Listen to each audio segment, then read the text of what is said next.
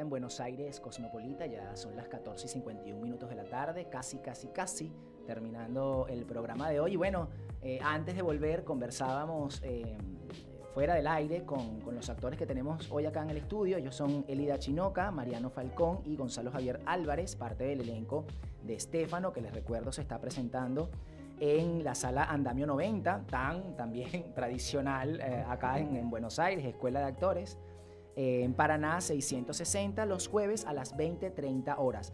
Eh, pueden hacer reservas de las entradas a través del teléfono 43735670.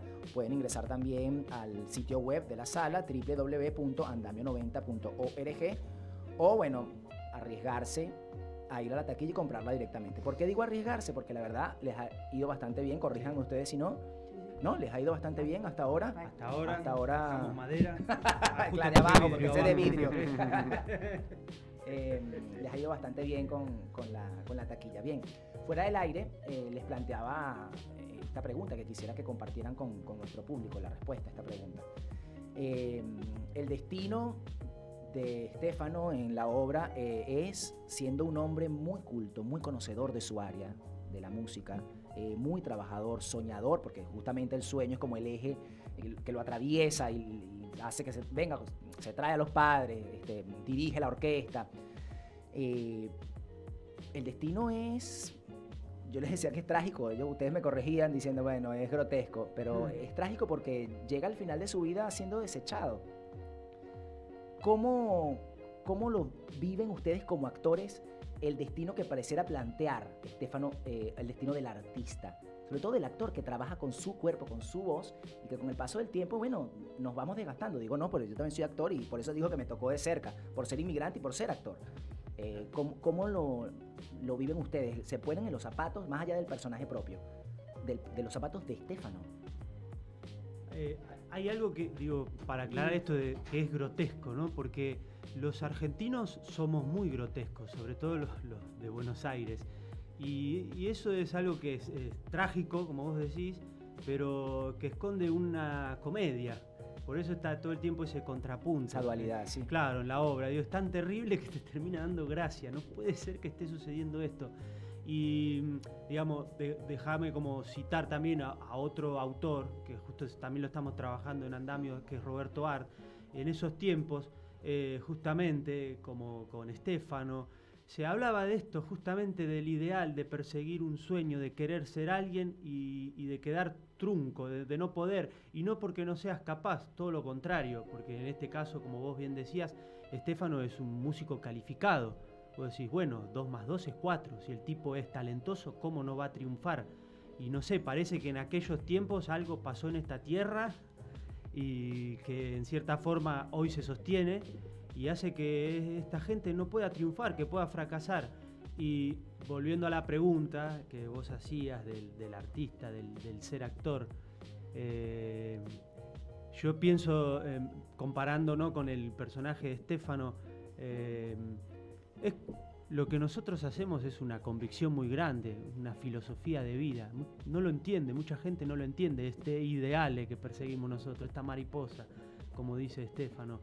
Eh, eh, no sé, por ahí el tiempo va pasando. Yo quiero creer que a medida que me vaya poniendo más viejo y más curtido, voy a poder encarnar otros personajes que por ahí hoy no estoy preparado. Entonces, por ahí mi mirada es, es más eh, positiva con, con respecto a, a en, comparando el, el, recorrido que hace el personaje en la obra. De, claro, en la obra. Pero bueno, uno, uno pelea todos los días y no quiere llegar a ese final, porque que un día venga alguien y te diga, eh, haces la cabra, como le dicen a Estefano, ya no puedes cantar, sí. ya no sos bueno o nunca lo fuiste, es durísimo, es, es matarte en vida es estar muerto en este mundo, es preferible partir.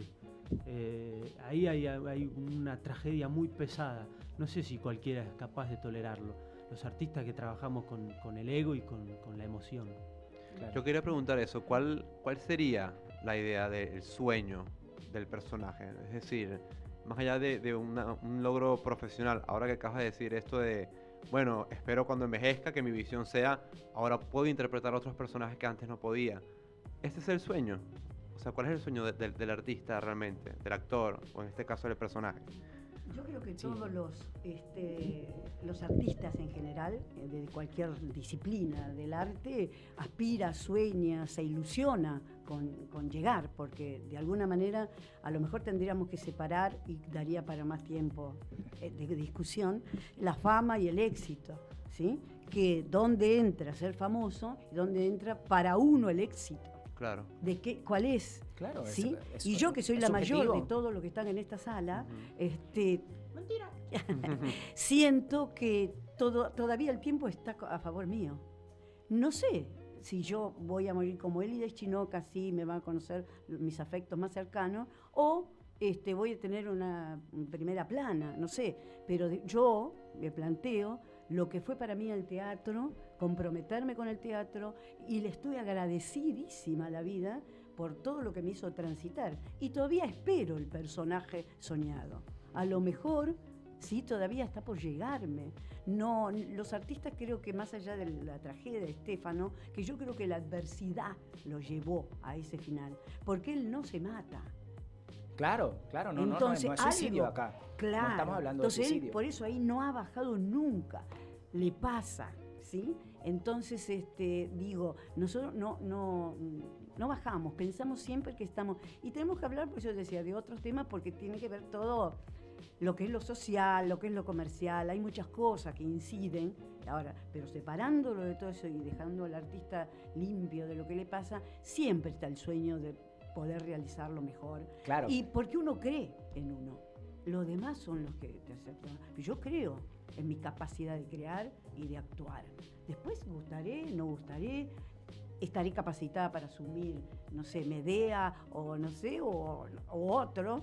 Este, por ahora humildemente me quedo con María Rosa, que es este. Que es muy divertida la pareja de padres de Estefano, es muy divertida. amorosa y que lucha con sus afectos entre un hijo que lo ve sufrir y a un marido que también ve sufrir. Entonces tiene sentimientos encontrados y lucha para estar y sostener esta vida este, tan sí, lastimosa que estamos. Yo he podido ver a Marcelo Bucosi en varios espectáculos Sí. y, y me he reído con este. O sea, Muy de verdad que la pareja de, de ustedes dos en escena es muy divertido lo que hacen. Me encantó el trabajo de, de los dos. Eh, bueno, quiero, quisiera escuchar la apreciación. eh, Bueno, de primero voy a abrir un paréntesis a todo esto. Quiero. Hace muchos años yo vivía en comunidad artística y teníamos una pared de 4 metros por 7 que queríamos que algo nos represente. Y la hago corta. Pintamos un mural que decía: El éxito en la vida es ver para qué vino uno al mundo y hacerse cargo. El hacerse cargo es Estéfano, el hacerse cargo es no poder mantener a tu familia, el hacerse cargo es no poderle comprar ropa a tu familia. El hacerse cargo implica un millón de cosas que quizás vos estás dejando de lado por perseguir ese ideal, por perseguir esa mariposa. Y en este caso, Estefano, volviendo a la obra, sí. tiene una familia que funcione o no funcione, ya es apreciación de cada, de cada persona que lo va a ver. Pero sí siente la recriminación de su esposa, de sus hijos, de su padre. La única que es un poquito benévola es el personaje de María Rosa que le dice, yo te quiero Y eso pasa. y está bien. Que quizás es lo que quizás mm, uno espera de, de su familia, de su mamá, ¿no? De yo te quiero y ya está, y está bien así. Pero no es lo que pasa en, en- en- en toda la obra. Re- eh, vos nos hiciste la pregunta de nosotros ponernos en, en- en- En los en la- zapatos de Estefano. en la piel o en los zapatos de Estefano. Recibir esa recriminación del padre que me defraudaste literalmente y yo nunca confié en vos. De la mujer y de todos los hijos verlos así, eh, con, con nuestros compañeros que la vemos jueves tras jueves, le encontramos siempre un poco más de profundidad a la obra y cada día estamos más convencidos de que esto es un clásico, no es por casualidad. Hamlet no es un clásico por casualidad. Todavía habla de hoy. Y todavía sigue hablando de. Siria, de Venezuela, de, de muchísimos países que están saliendo de su tierra en busca de algo mejor, llamale ideal o llamarlo simplemente poder comer todos los días. Ese es un ideal importantísimo, ¿no? Y llegar a un lugar y darte cuenta que todo lo que hiciste, los demás te dicen que fue un error grave, que, te defrau- que los defraudaste, que, que desde, desde el momento cero no confiaron en vos, te la regalo. Ya, eh, sin embargo, bueno, eh, Estefano la pelea. La- Eh, Estefano la pelea, la lucha, la lucha hasta el final. Totalmente. Eh, Sí, sí, sí. Mi pregunta va orientada, fíjate, nosotros tuvimos la oportunidad de hacer una, una cobertura de mm, la alfombra roja de los premios Hugo y tuve la oportunidad de entrevistar a Raúl Lavie Mm.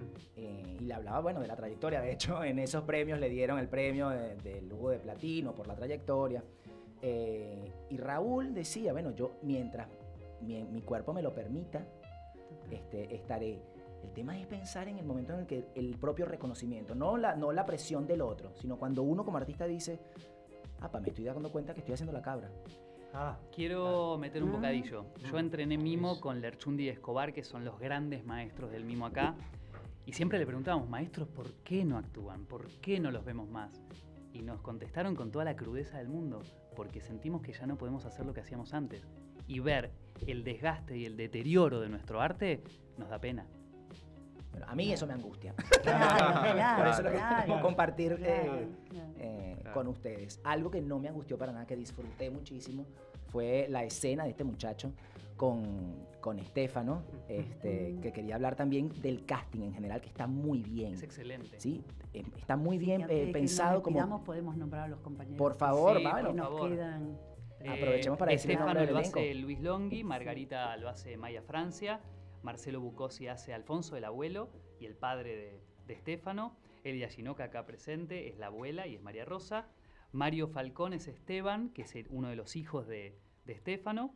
Nico Cúcaro hace de Radamés y Lucía Palacios hace de Nieca, que es, son toda la familia de los hijos presentes en la obra, porque hay algunos que se nombran y no que están. hacen referencia, que están afuera, Claro, jugando. que murió. claro. Sí.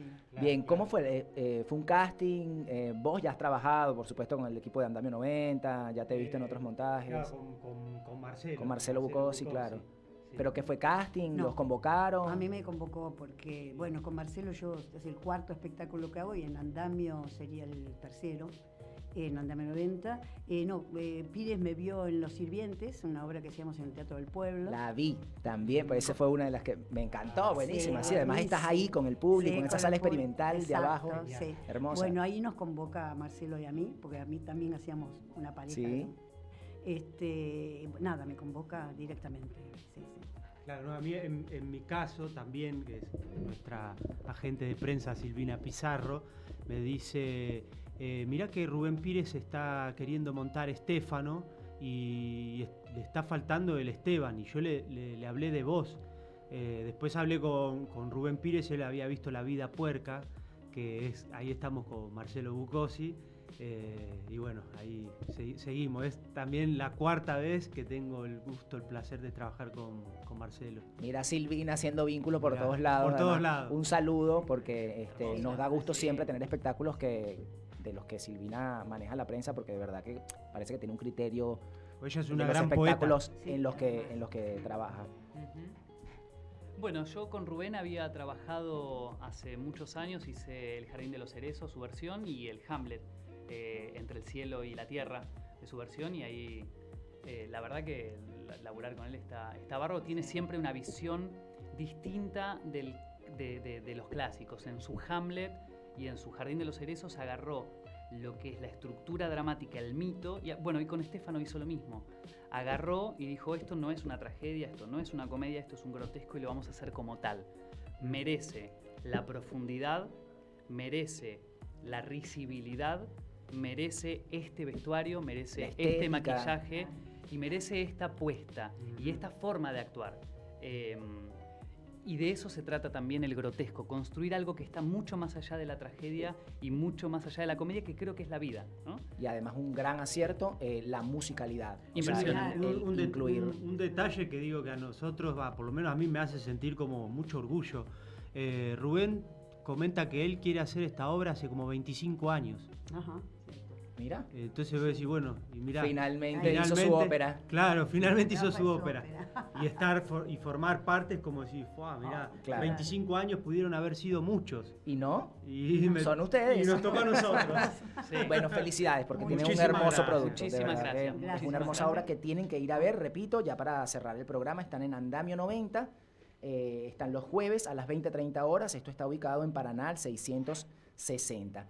Muchísimas gracias por acompañarnos. A ustedes, a ustedes, hermosísima nota y se pasó el tiempo como loco. Se pasó el tiempo como loco, ya tenemos que... Pero fue muy lindo, muchas Muy lindo, gracias. muchas gracias. Gracias. Gracias a ustedes por estar. Bueno, eh, los esperamos la semana que viene. Esto fue Buenos Aires Cosmopolita. Buena gente. Ahí no vamos. nos escuchamos. Ahí vamos. viene. Buenos encuentros. Ahí está, buenos encuentros. Nos vemos la semana que viene.